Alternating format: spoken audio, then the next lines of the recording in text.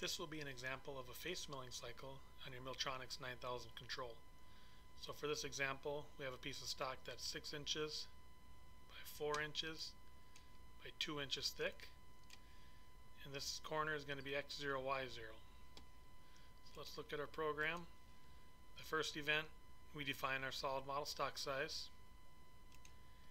Then we have our tool change event. We're going to be using tool number 5, which is a 3 quarter inch end mill 500 RPM clockwise spindle direction.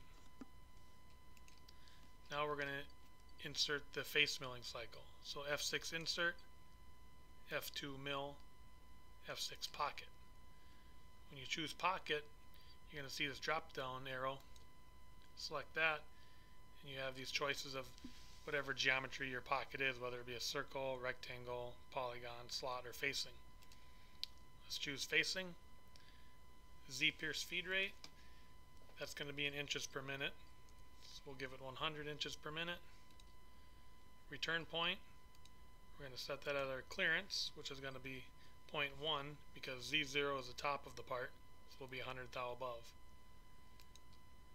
Then it's going to ask you for your final depth of your facing cycle. Final depth will be negative 250 thousandths. Our first depth, negative 100 thousandths. What's your depth increment? We'll say 100 thousandths increment. XY feed rate. So at what speed are you going to be milling across an X and Y? We'll say 35 inches per minute. Now what's the pocket center? X0 is the left edge of our part and it's 6 inches wide. So X center would be 3. And what's the Y center? Y0 is the back edge and the part would be 4 inches wide. So negative 2 would be the pocket center. What's our pocket dimension? If our plate is 6 inches wide and we want to face the entire top, we'll say 8 inches by 4.5 just to give enough overlap to clean up the whole part.